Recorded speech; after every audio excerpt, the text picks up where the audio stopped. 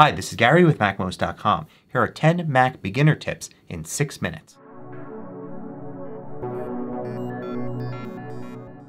MacMost is brought to you thanks to a great group of more than a thousand supporters. Go to MacMost.com slash Patreon. There you could read more about the Patreon campaign, join us, and get exclusive content and course discounts. So the apps that you most use may already be here in the dock. But if you want to launch any app on your Mac at all, you can go over here to Launchpad, click and hold, and a list will come up with all of your apps. If you want it to appear a little faster, hold the Control key and click. Or two finger click on the trackpad, right click on the mouse. You can use the keyboard to search. So I can type F to jump to F or Fi and it jumps right to Final Cut Pro. Then Return will launch the app. Now to switch between apps you may already know how to use the application switcher. You hold the Command key down and then while holding down you tap Tab on your keyboard to move through the applications that you have running. Once you're at the application you want to switch to just lift your finger off of the Command key.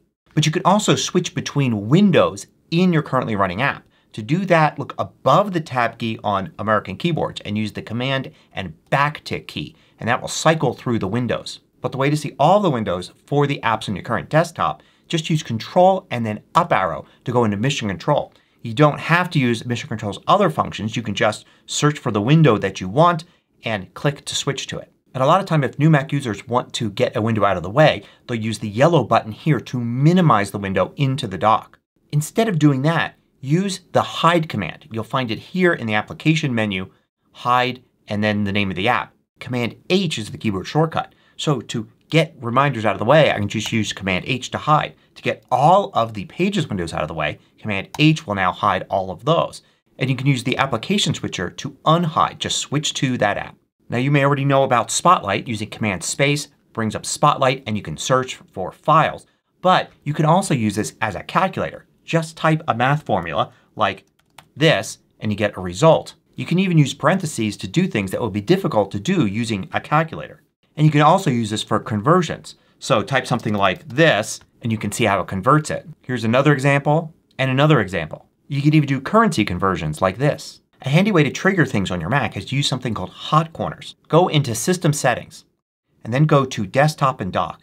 Scroll all the way to the bottom and there's Hot Corners. So for instance if you want to put your Mac to sleep really easily you could assign Put Display to Sleep to the top right corner. Now if I move my pointer up there it will put my Mac to sleep. While you're doing this you can also hold a modifier key like the Command key, Control, Option, Shift, or any combination and then you need to hold those modifier keys down while you move your pointer over there for the hot corner to work. This will prevent you from accidentally triggering the hot corner. Now to take a screenshot or to record your screen there are a whole bunch of different keyboard shortcuts you can use. But there's really only one you need to remember and that's to use Command Shift and the number 5. This brings up the controls here at the bottom. You can switch between capturing the entire screen, a selected window, a portion of the screen, or recording the entire screen or a portion. Under Options you have all the different options like where the screenshots get saved to and then you can just click the record button or often just click the screen or window you want to capture to start. In just about any situation on your Mac you can bring up a context menu that will help you get things done. On Windows this was usually referred to as right clicking and if you have a mouse you can actually right click to bring up the context menu. On a trackpad you can use two fingers to click or you can use control and then click on anything. So you can click here on this file and it brings up the context menu with all these different things you can do with whatever it is you have selected. But this works with objects in just about any app. So you can select a word in Pages for instance and then control click on it and bring up a context menu here. In Mail you can control click on a message, bring up a context menu. Or control click on a mailbox. Or control click on an image in a message. In a web browser you can control click on a link. You can control click on the page itself. In Photos you can control click on a photo. You can control click on something in the left sidebar. You get the idea.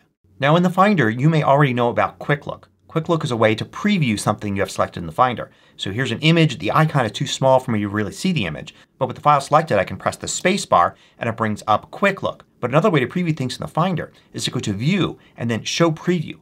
And this brings up a preview here on the right side of the Finder. And it works in any Finder view. So you can see it here in Column View.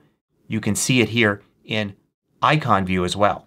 When you're typing in an app, if you want to add an emoji character or other special character, just use the keyboard shortcut Control Command Space and it brings up the emoji and special character viewer. you can scroll through here to find what you want and click on it to add that character. Another way to bring this up is to use the FN or globe key on your Mac and then the letter E. Once you bring it up you can just type and it will search. Use this for all sorts of symbols as well. Now you're probably used to using tabs in a web browser. Here I am in Safari and instead of a new window I can create a new tab. And I could have multiple tabs. But on the Mac you can use tabs in virtually any application. So for instance I have these three windows open here in Pages. But I can go to Window here and then merge all windows. And you can see I've got them now in tabs. You could even do it here in Mail. If I go to File there's New Viewer Window. If I hold the Shift key down then I get New Viewer Tab. And you can see I've got two tabs here. So I could be looking at inboxes in one and sent messages in another. So here's a bonus tip. Notice how I used the Shift key to change the menu items here in the menu bar. Well, you can do that in almost any app. The Option key is commonly used for this. So if you're in a menu like this, hold the Option key down and see how things change. For instance here you can see duplicate changes to save as if I hold down the Option key. In the Finder a lot of items in File will change if you hold down the Option key and give you more commands. And in the Go menu if you hold down the Option key you get the ability to go to your library folder. It's not there if the Option key isn't held down. Hope you found these tips useful. Thanks for watching.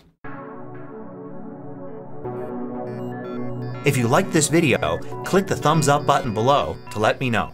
I publish new tutorials each weekday. Hit the subscribe button so you don't miss out.